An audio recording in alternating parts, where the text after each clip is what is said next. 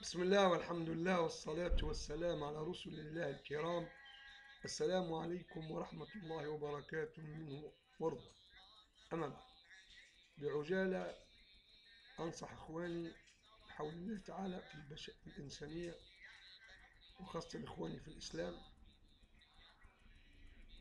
بعجالة إن شاء الله نكون مسدد الخطأ وأن يحسن الظن بالله. أنا مع كثرة ال- الهزات والاختلاطات في المفاهيم والتعتيم خاصة الإعلامي الغربي وحتى الشرقي. يعني يخلي الإنسان يبدأ في التراجع في حسن الظن بالله كأنه يقول الله تخلى عني والله قلاني. أي بعد عني الله لا يبعد. الله هو قريب دائما وظاهر وباطن. لكن القرب ليس هو مسافة. القرب هو أن تكون ربانيا أنت قريب أن تك- تكون تحسن الظن بالله لا تشك في ذلك أبدا. وترفض هجومات شيطانية إبليسية من هذا القبيل. كيف نجرؤ على الله فلا نسيء الظن به؟ لا يجوز أبدا.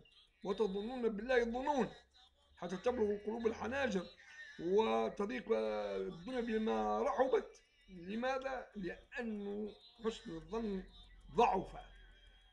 لهذا أنصح إخواني ربما يتطرق سوء الظن بما سوى الله. هذا جائز لأنه ما سوى الله قاصر ما سوى الله غير صادق بالتمام وغير قادر بالكمال بحيث ما يهم سوء الظن سوء الظن واحرص أن تكون سيء الظن خاصة مع الأعداء ومع المنافقين. أما نكون سيء الظن مع الله فلا ولا ولا لأن الله كامل الأوصاف. والله سبحانه وتعالى لا لا صادق مثله. ولا ينبئك مثل مثله الخبير سبحانه وتعالى. ولهذا إذا كان أعطاك العهد في القرآن وأعطاك عقل يثبت تلك الحقيقة فالزم ذلك عرفت فالزم. عرفت أن الله لا يقول إلا حقا والله لا يغيب عن شيء والله سبحانه وتعالى غالب على أمره والله يعلم السر وأخفى ويعلم خائنة الأعين وما تخفي الصدور. ويسمع دبيب النمل وما دون ذلك في الأكوستيك في في علم الصدى وفي علم الأصوات. الله يعلم كل شيء. ألا يعلم من خلق وهو اللطيف الخبير.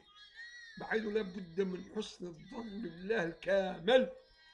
لا بد أن نتأدب مع الله ونستحي منه حق الحياء وكل إنسان ده يقرب منه الشيطان يظهر عليه سوء الظن بالله. ربي قال وكان حقا علينا نصر المؤمنين. ورحمته قريب من المحسنين. والله هو أصدق الصادقين وأصدق القائلين. وقرآنه كلامه العزيز. هل وجدتم فيه التواء أو تناقضا؟ لا والله. حاشا لله. معاذ الله. إذا إذا كان كلامه لا خلل فيه. فكيف نسمح لأنفسنا أن نسيء الظن به أي الله. يعني كلامه لا يتطرق إليه شك ولا سوء ظن. فكيف بنا أن نسيء ال- السلوك مع الله؟ في أن نوايانا وأقوالنا وأفعالنا لا يجوز.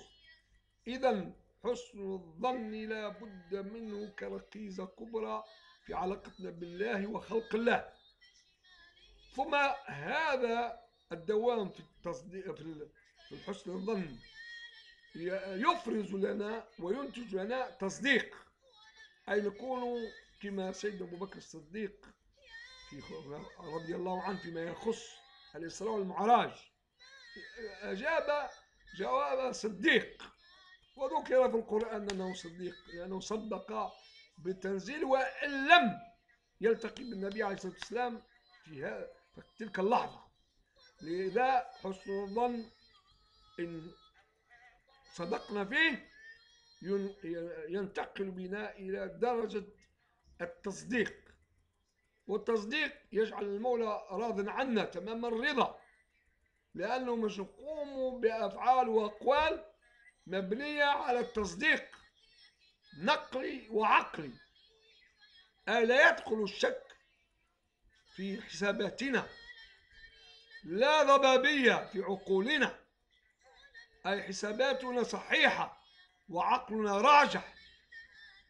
والموضوع هذا يتطلب منا كثير من الوقت لكن أنا أريد أن أكون مختصر كونسي بريسي ودقيق.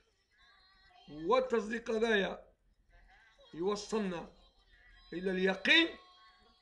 إذا كان إحنا ولينا من المصدقين لكلام الله ومن المصدقين لوظيفة العقل اللي يعطونا ربنا نعمة من عنده فننتقل إلى اليقين.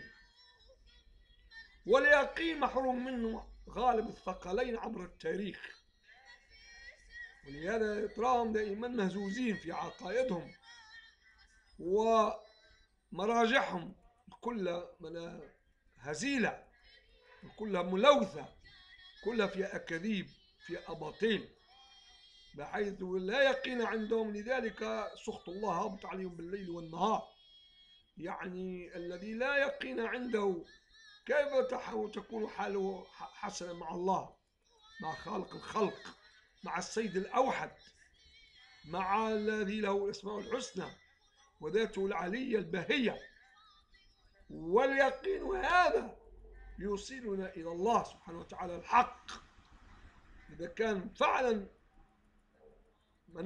تنعمنا بهذا اليقين فنكون من أحباب الله يقينا ومن جند الله حقيقة ويولي سبحانه وتعالى من سدد خطانا ويجعل يدنا ضاربة في العمق للباطل وأهل الباطل ظهروا أم اختفوا؟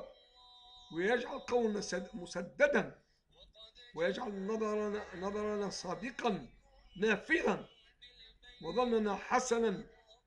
اتقوا الله وارجعوا إليه بحسن الظن فيه والانتقال من حسن ظن إلى تصديق إلى يقين إلى حضور بين يدي الله والسلام على من اتبع الهدى.